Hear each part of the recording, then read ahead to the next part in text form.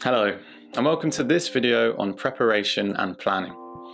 In this video, we'll go through exactly what a SMART objective is and how you can use them when you study or revise.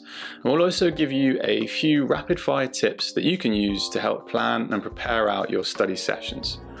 As always, if you enjoyed this video and found it useful, please give us a like and subscribe to our SnapRevise YouTube channel to see the rest of our videos. So let's start with understanding what a SMART objective actually is. SMART stands for specific, measurable, achievable, relevant, and time limited. So a SMART objective is an objective that satisfies all of those criteria. For example, without SMART objectives, you might say something to yourself like, I want to revise for my exams, and think you've set a good goal. However, this objective is too vague, and it isn't smart because it's neither specific, measurable, achievable, relevant, or time limited. And as a result, it will be very difficult to track your progress and see whether or not you've achieved your objective. A good objective would be in this hour session, I want to revise the components that make up the GDP formula in economics.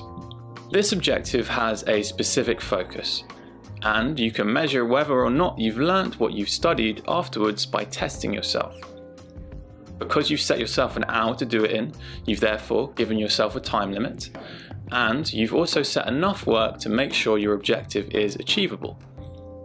Because you've picked something specific to economics, you've therefore made it relevant. Therefore, your objective is now SMART.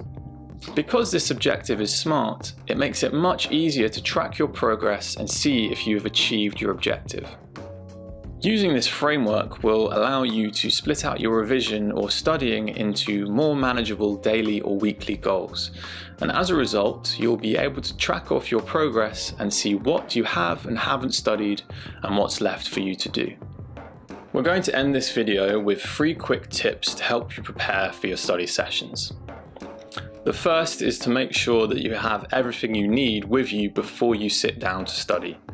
Whether that's snacks to keep you going, water to keep you hydrated, or stationery to keep you organized, make sure you have everything you need before you sit down so that you aren't tempted to get up and get something else.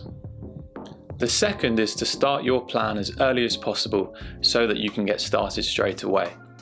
Now, your plan doesn't have to be set in stone, but the earlier you start, the more time you'll have to change and adapt it if you find that it's not working. The third is that once you have your objectives, make sure you plan out exactly when you're going to do them. Managing your time becomes even more crucial in A levels than it was in GCSEs, and so managing exactly when you're going to tick stuff off is going to be key in making sure you get everything done. And we'll have another video on this specifically in the future. We want to hear from you, and if there's anything that you'd like us to cover in this video series, leave a comment on this video and we'll do our best to add it in. And that's it. If you like this video, you can find much more from us on our YouTube channel, and you can follow us on Facebook and Instagram to get daily study tips, test questions, and revision content. Thanks for watching the video.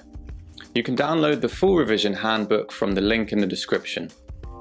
Click here to see the next video in the series and click here to see the rest of our YouTube channel.